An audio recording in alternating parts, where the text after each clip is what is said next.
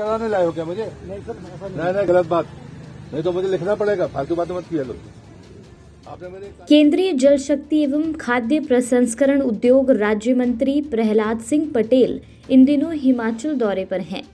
इस दौरान उनका एक वीडियो काफ़ी वायरल हो रहा है जिसमें वो अपने काफिले के आगे चल रही पायलट के इंचार्ज पर खूब भड़क रहे हैं। Prahlad Singh Patel, pilot in charge पर इतने आग बबूला हुए कि उसके खिलाफ कार्रवाई तक की बात कह दी।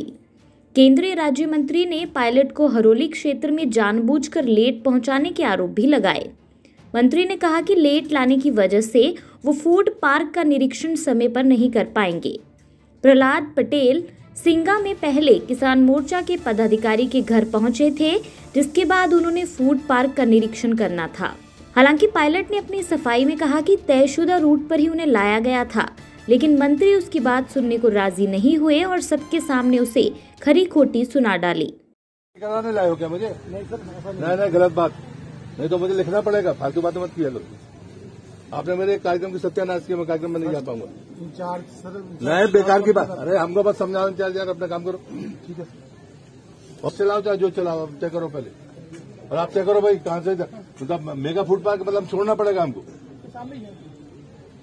तो वहाँ क्या है, वो तफरी कर ताज़ा करेंगे क्या हम? उनसे पूछा जाता वो गेट पे मिले मुझे, जहाँ पर ऑफ़िस में गेट पर हिमाचल से जुड़ी अपडेट के लिए बने रहिए ईडब्ल्यू एन ट्वेंटी फोर के साथ।